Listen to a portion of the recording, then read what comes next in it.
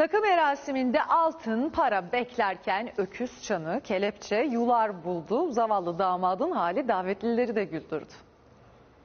Trabzon vurması. Allah güle güle kullanmak nasip etsin damat bey. Yular taktılar yetmedi. Öküz çanı bağladılar. Arkadaşları damada en mutlu gününde yapmadığını bırakmadı. Hadi hayırlısı olsun tam oldu şimdi. Ceylan, İrfan Durgutça çiftinin düğünü vardı. Takım merasimi tam bitmişti ki damadın arkadaşları çıktı sahneye. Ayva yemesin, ömrü uzasın diye. Damada önce beşi bir yerde misali kurdelaya dizili elma sonra yular taktılar. Yuları da yengeye verdik biz zaten tamam. Bir başka davetli öküz çanı. Bir başkası da kelepçe takıverdi. Öyle kalsınlar hiç ayrım onlara oynarken de o şekilde oynasınlar. Mesut bahtiyar etsin diyelim.